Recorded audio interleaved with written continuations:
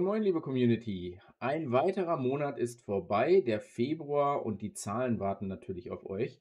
Und ähm, ich kann euch jetzt schon verraten, das war relativ spannend, insbesondere um die volle Autarkie zu erreichen. Die 100% haben wir geschafft, aber wieder mit ein bisschen Mogeln. Darauf gehen wir dann gleich aber ein. Als allererstes möchte ich euch mal ganz kurz zeigen, was ich so die letzten Tage getrieben habe.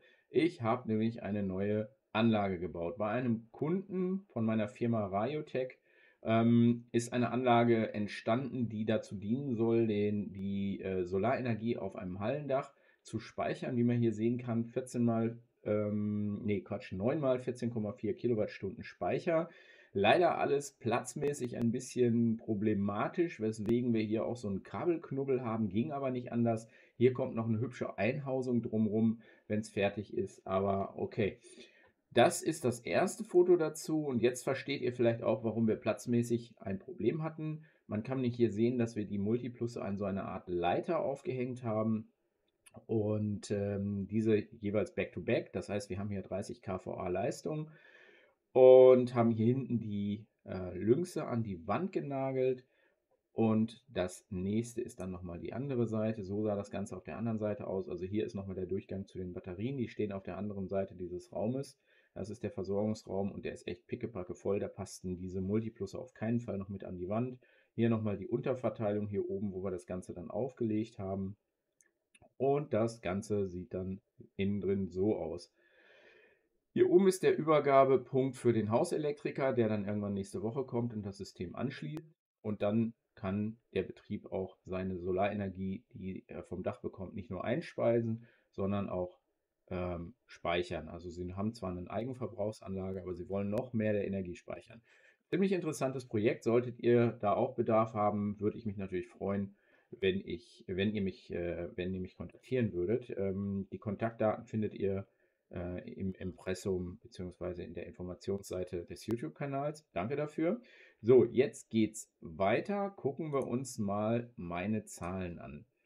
Aktuell, jetzt gerade im Moment, kommt richtig was vom Dach. Wir haben knapp 14 Kilowatt, äh, die jetzt äh, ja gerade erzeugt werden, die wir aber auch beinahe, oder nicht nur beinahe, wir verbrauchen alles gerade selber.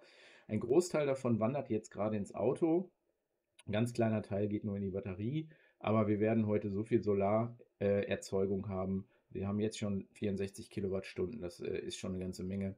Der muss ja auch irgendwo bleiben. Aber ich denke, heute Abend dürfte das Auto und der Akku voll sein. Aktuell sieht das Ganze so aus, das ist PV-geführtes Laden im Auto. Man kann hier sehen, es liegen gerade, naja, 16 Ampere, knapp 11 Kilowatt an, also das Maximum, was geht. Und ähm, wir haben jetzt schon ja, 29,8 Kilowattstunden in den, ins Auto reingeladen. Passt noch ein bisschen 66% Zock. Also ich finde diese Auswertung der ähm, der OpenBB super. Dazu gibt es demnächst übrigens auch noch ein Video. Ich werde das Ganze nämlich auf OpenBB äh, 2 umstellen mit einer Master und einer Slave WB. Da bin ich mal sehr gespannt. Da meine Frau ja auch ein Elektroauto hat, wird es dann langsam Zeit, dass ihr auch eins bekommt. So, jetzt gucken wir uns mal die Zahlen an von letzten Monat. Oh, äh, kleinen Moment. Äh, so, März, äh, Februar, Entschuldigung. So, Februar. Wir haben geladen insgesamt 142,58 Kilowattstunden in das Auto. Das entspricht etwa 764 Kilometern Fahrleistung. Kommt auch hin. Also mein Auto, ich bin ja, ungef ja ungefähr 1000 Kilometer gefahren, aber es war auch noch was drin. Von daher kommt das, kommt das auf jeden Fall hin. Also das ist der Teil, der ins Auto geflossen ist. Ähm, Im Haus haben wir, Moment, wo sind wir denn? Nee, da sind wir. Nicht allzu viel genutzt. Ähm, ich habe hier, der Zähler ist wohlgemerkt jetzt noch nicht genullt, das ist Absicht. Ähm, die Heizung war heute auch nur einmal ganz kurz an mit 200 äh, Wattstunden, also ungefähr 5 Kilowattstunden haben wir in die Klimaanlage gesteckt. Ähm, und ähm, dann haben wir hier noch unsere totale Ladeleistung über die Hofsteckdose. Das sind nochmal 82 Kilowattstunden die in das Auto meiner Frau geflossen sind. Die Küchenheizung, also die Infrarotheizung, hat nochmal 4 Kilowattstunden gebraucht. Wie ihr seht, haben wir leider noch viel Energie für oder nicht viel Energie fürs Haus gehabt. ähm, zum Heizen, das ist alles in unseren Normalverbrauch geflossen. Jetzt gerade könnt ihr auch sehen, die Heizung ist an, hat eine Ist-Temperatur von 21 Grad, soll aber 22 Grad haben, deswegen wird hier gerade geheizt. Dann müssen wir sogar diese 0,4 Kilowattstunden noch abziehen. Ähm, ja, okay. Nichtsdestotrotz nicht besonders viel, was hier an dieser Stelle passiert ist. Wir können uns hier nochmal ganz kurz einmal gucken, wie es hier aussieht. Also gestern war der Akku schon wirklich relativ voll. Da war ich halt unterwegs, um diese, um diese Anlage zu bauen. Gestern Abend habe ich nochmal ein paar Kilowattstunden nachgeladen. Und ja, jetzt hier kann man nochmal die einzelnen Anlagen sehen. Wohlgemerkt sind hier nicht alle dabei. Wer jetzt sich wundert, warum es hier ein Delta gibt. Ne? Also wir haben jetzt hier 14 Kilowattstunden. In dieser Ansicht sind noch nicht alle Anlagen da. Das muss ich mal irgendwann noch ändern. Ist für mich jetzt aber primär nicht ganz so wichtig, weil hier diese Sachen zeichne ich derzeit nicht auf. Das andere wird sehr wohl aufgezeichnet und landet dann in Graphen. Genau, also dann haben wir hier noch unser Batrium-Dashboard. Hier kann man jetzt auch sehen, was so mit den Akkus los ist. Derzeit sieht das alles richtig super aus. Klar, die kriegen natürlich jetzt auch nicht besonders viel Leistung ab. Aber gut, das wird sich dann heute Nachmittag, wenn, die, wenn der, das Auto voll ist, wird sich das deutlich ändern. Hier kann man nochmal sehen, hier vorne ist, der, ist die Ladeleistung hochgegangen, dann ist irgendwann das Auto angeschlossen worden und seitdem lädt das so vor sich hin. Bisschen spiky das Ganze, liegt aber auch daran, dass wir auch noch ein paar Wolken hier unterwegs haben und die Regelung natürlich jetzt hier im Haus den Verbrauch. Meine Frau hat irgendwie gewaschen und Trockner und sowas und deswegen sieht man diese, diese Erzeugungs, die Erzeugung, beziehungsweise die Spikes, die, das ist hier der, die Leistung, die in den Akku läuft. Und äh, deswegen ist das da so ein bisschen spiky. Jo, genau. Also, wir haben tatsächlich, wir haben es geschafft. Wir haben wieder mal die 100%-Marke erreicht. Hm. Allerdings, wie ich das am Anfang schon gesagt habe, wieder ein bisschen gemogelt. Wie viele von euch wissen, habe ich noch zwei Akku-Packs in Reserve. Die stehen bei mir in der Werkstatt und sind so für diverse Tests, werden aber auch nur mit Solarenergie geladen. Und was man hier sehen kann, hier geht es dann am Anfang des Monats relativ steil bergab mit der, mit der Versorgung. Hier habe ich noch einen Peak und dieser Peak, der ist aber tatsächlich gar nicht real. Da habe ich nämlich mein Batrium aufgrund von Fehlern komplett neu aufsetzen müssen. Und das war dann im Endeffekt, da habe ich einmal kurz die Akkubank, damit die Anlage nicht abschaltet, an einen anderen Akku angeschlossen. Da könnt ihr sehen, der hatte dann noch so 60% Zock.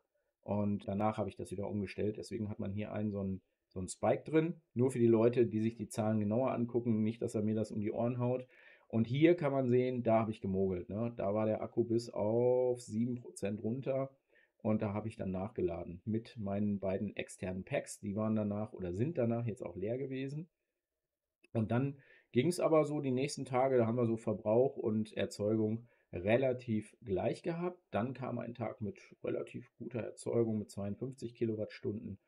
Und das hat den Akku natürlich dann erstmal recht voll gemacht. Dann ging es wieder ziemlich bergab und da habe ich noch gedacht, oh, oh, jetzt ist bald Feierabend. Aber dann kam wieder ein guter Tag und der hat alles gerettet. Wir sind den kompletten Februar mit, unserer, mit unserem selbst erzeugten Strom ausgekommen. Leider nicht energieautark, also im Sinne von Heizen. Dafür reicht aber momentan einfach der der Solarertrag noch nicht, beziehungsweise momentan reicht er schon. Man sieht hier, dass es deutlich bergauf geht im Februar, also ab Mitte Februar war das eigentlich gar kein Thema mehr. Aktuell, mein Akku wird heute mit Sicherheit bei 100% landen und am Ende, Ende des Februars, also am letzten Tag, haben wir tatsächlich dann auch nochmal die 100% erreicht. Also das ist schon, schon beeindruckend.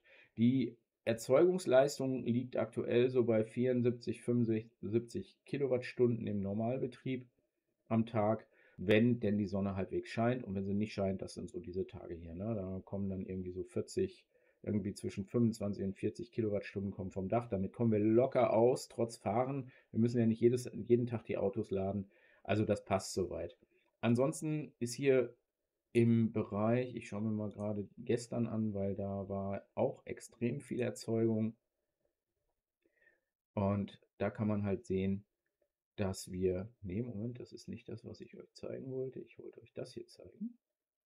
Ja, hier kann man nicht sehen, Premiere, dieses Jahr das allererste Mal, die Anlage hat abgeregelt. Leider, ich war nicht zu Hause den Tag, ähm, bin unterwegs gewesen, um diese eine Anlage aufzubauen. Und hier kann man sehen, das erste Mal die Frequenzerhöhung dieses Jahr. Das heißt, die Anlage hat die Wechselrichter abgeregelt, damit der volle Akku nicht noch mehr beladen, beziehungsweise damit nicht noch mehr Energie erzeugt wird und die Anlage dann Not abschalten muss. Bei mir in der Insel ist es halt so, hier kann man es auch noch sehen, die hat sauber runtergeregelt, hat halt das äh, Charge Voltage Limit, Entschuldigung, das äh, Charge Current Limit auf 12 Ampere runtergestellt. Das ist so mein Float, meine Float-Ladung bei dem großen Akku.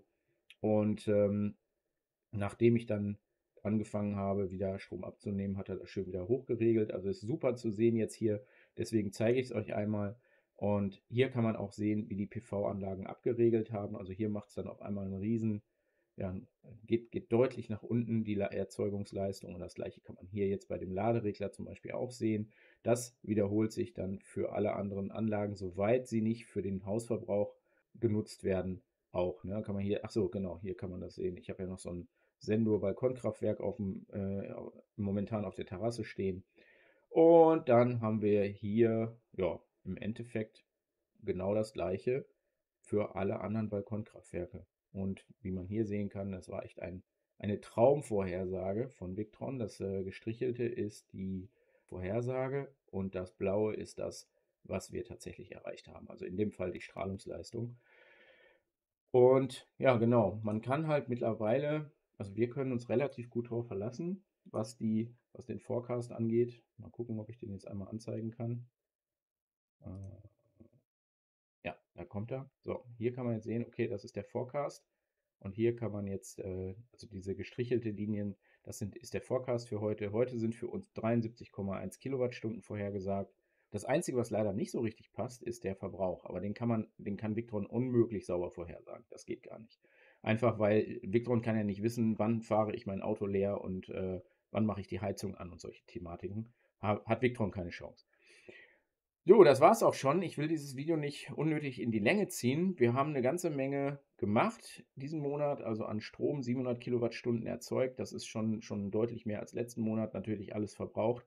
Aber jetzt wird es in, in die Höhe gehen. Also ich denke, der März, der wird dann vermutlich schon wieder über einer Megawattstunde liegen und wir werden die, diese Megawattstunde vermutlich auch komplett verbrauchen. Nochmal einen kurzen Blick auf die OpenWB. Ich finde das immer wieder toll, wie das mit dieser, mit dieser Laderegelung so funktioniert. Hier kann man den Stock des Autos sehen.